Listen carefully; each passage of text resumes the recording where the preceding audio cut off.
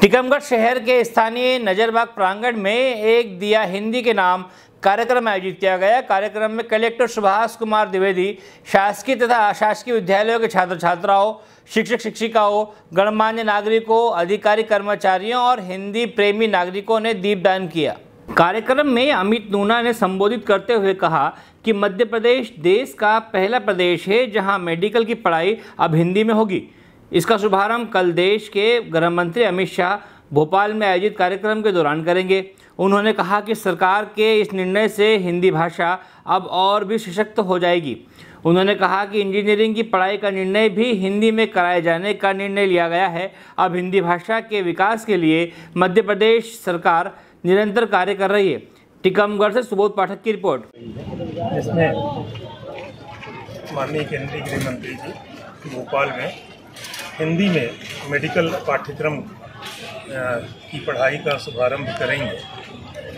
तो ये इस मायने में युगांतकारी है कि अभी तक जो भी विकसित देश हैं या जो जिनको हम अग्रणी पंक्ति के देश कहते हैं, वो अपनी भाषा में मेडिकल की पढ़ाई करते हैं। तो हमारे यहाँ कल से पहली बार हो रहा है और हम अपनी भाषा के सम्मान के लिए, मातृभाषा के प्रति अपने समर्पण के लिए आज हमने पूरे प्रदेश के समस्त बावन जिला मुख्यालयों पे एक एक जगह एक दिया। हिंदी के नाम का आयोजन किया गया है।